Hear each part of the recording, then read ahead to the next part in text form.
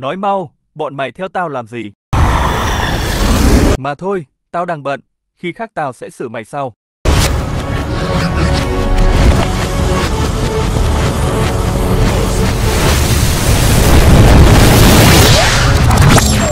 Tôi chặn bằng gạch đá rồi, chúng không vào được đâu.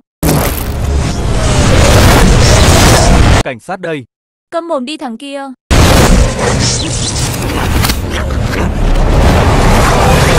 Ôi anh ơi tha em, em biết lỗi rồi.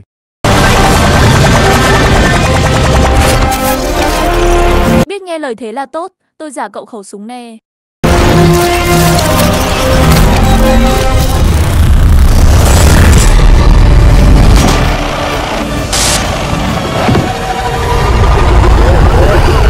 Mấy anh cứ thông thả mà đi, em tới đây ạ.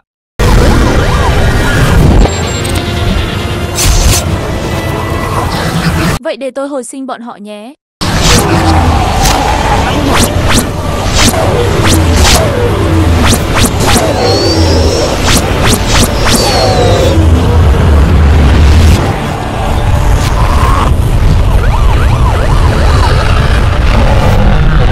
Cảm ơn cậu đã cứu bọn tôi, nhưng vì quá khứ bọn tôi đã phạm nhiều tội ác nên phiền cậu nhốt bọn tôi lại nhé.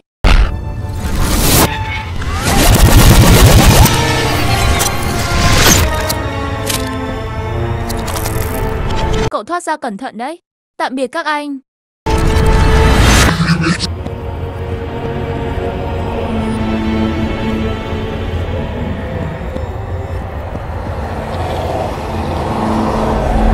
Eo ơi, nhìn đội này ghê quá.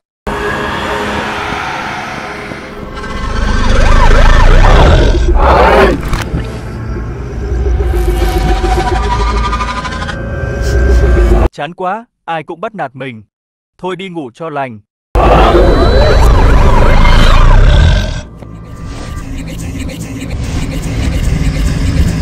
Thả ta ra. Im mồm đi cho tao nhờ.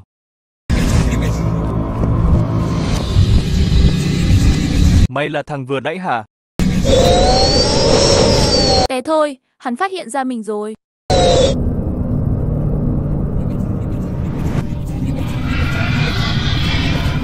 Cứu tôi với.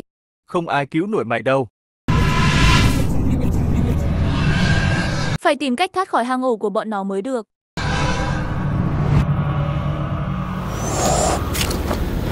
Ê dậy đi, đưa tao ra khỏi chỗ này mau lên.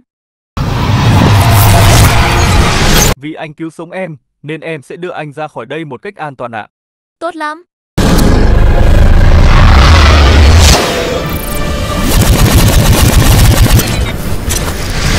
Súng xịn đó, vừa hồi sinh được và cũng vá được vết thương vừa bán. Chả mấy khi bị tiêu hóa. Thôi thì cứ bay nhảy một lúc cho thoải mái vậy.